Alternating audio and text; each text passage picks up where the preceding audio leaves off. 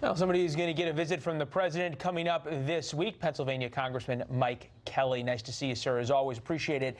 Uh, president seems to feel uh, no matter what, he needs to be on the campaign trail. How do Republicans keep the momentum here going? You know what, uh, Leland? I think there's an old saying you have to play the whole way through the whistle. We're talking about playing through the echo of the whistle. Uh, America has never had bluer skies or a stronger wind at its back right now than we have right now. It has just been an incredible ascension of our economy. And, you know, as President Reagan said, and I think President Trump's carried it forward, this is about jobs, jobs, jobs, and more jobs. What's good for American workers is good for America. We are seeing an upswing in this economy that affects every single American in a positive way. This is a president who set an agenda that people said he can't get there.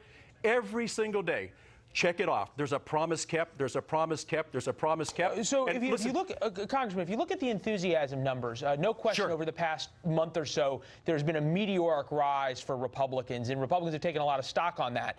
Uh, but a month ago, we were all sitting around talking about who wrote the famous op-ed, and Republican enthusiasm numbers were in the tank. What's the plan over the next four weeks to keep up the momentum going through the whistle, as you would call it?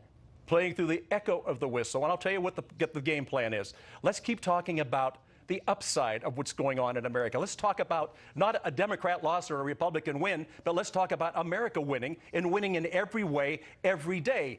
Republicans have the message that in the last 21 months, we have never seen an economy in our history that's as stable and as solid as this one and keeps going up, affecting every single American's life. It's just positive the whole way across the board.